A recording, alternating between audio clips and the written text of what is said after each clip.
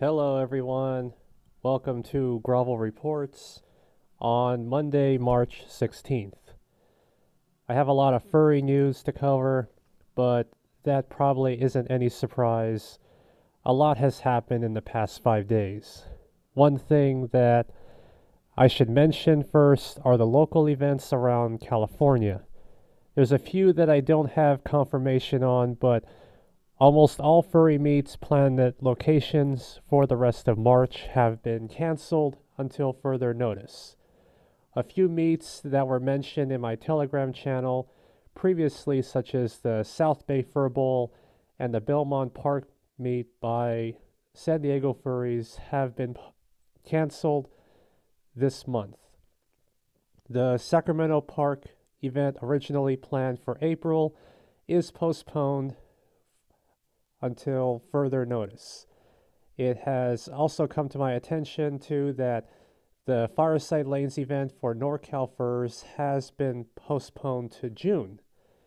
SoCal's furry nightclub Tail is postponed until further notice. For conventions, SacCon has a new date of June 7th. Originally, it was going to happen this month. Anime Roseville is still scheduled for April 19th. If that changes, I'll be sure to post it in my Telegram channel as soon as I see it. As for furry cons, local and around the world, nearly all of them that have a date in March, April, and part of May have been postponed to new dates. Uh, Biggest Little Fur Con is moved to October 29th. Now it is a week apart from PawCon. As of this video, I haven't seen a post yet from Golden State Fur Con for an update. Uh, a lot of furs look forward to a furry convention to attend, myself included.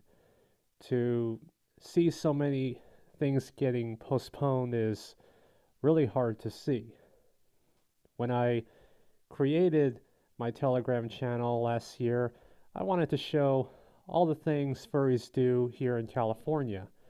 Even though we can't do much right now, we have a lot uh, of things to look forward to in the coming months. Furry conventions will still be happening local furry organizers still want to plan events for their communities, and I will do my best to cover all of them and keep you informed when they are coming up.